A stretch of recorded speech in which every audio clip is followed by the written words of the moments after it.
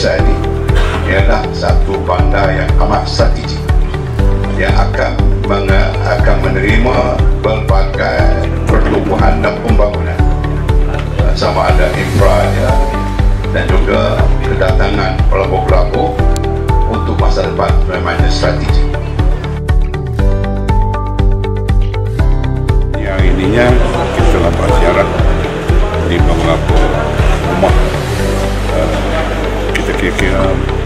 mereka-mereka yang uzur